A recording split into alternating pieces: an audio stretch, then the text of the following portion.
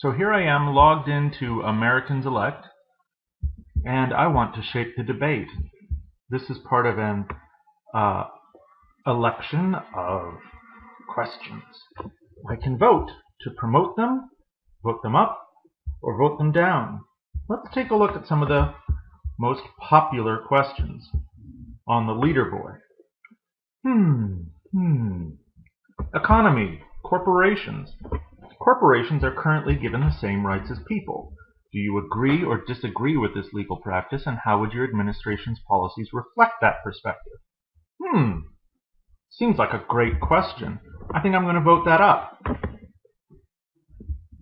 Wait, I said I'd like to vote that up. Hmm. Nothing happened. Can I vote that up?